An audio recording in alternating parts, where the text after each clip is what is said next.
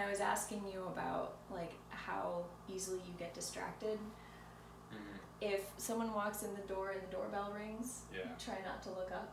Yeah, yeah, yeah. Okay. Um, I always tell John to not ask me a question while I'm in the middle of soldering. Understandable. Okay. Let's get the hell out of here. Shut Alright. up. Alright, so you can see it's starting to get a little white. Mhm.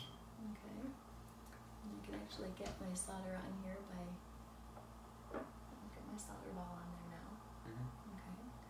So I'm just kind of going kind of quickly around the outside of my metal and I can see that my flux is starting to kind of burn away. So I'm gonna start placing my solder right on that seam, on and off, on and off. Okay, I start to see it melt a little bit, so I'm just gonna take my solder pick away, on and off. I can see the ball melting. Can you see the ball melting? Mm -hmm. Okay. Go around a couple times, nice and fast. I'm gonna check the inside to make sure I went to the inside.